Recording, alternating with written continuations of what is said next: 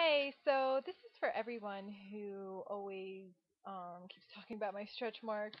it's such a touchy subject, but um, yeah, I got my stretch marks due to having two kids gaining major weight. Um, a lot of people keep asking me where they went.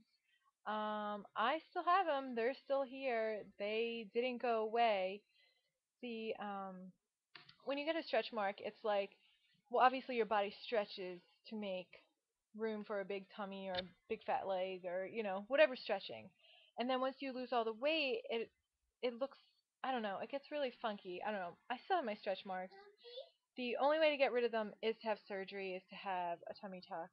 Um, that's not going to happen though.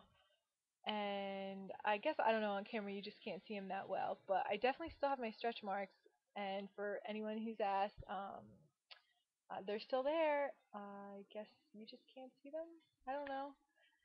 And um, I do hate them, so thumbs down to stretch marks. They suck. Um, but anyways, just wanted to let you all know they don't go away. Bye.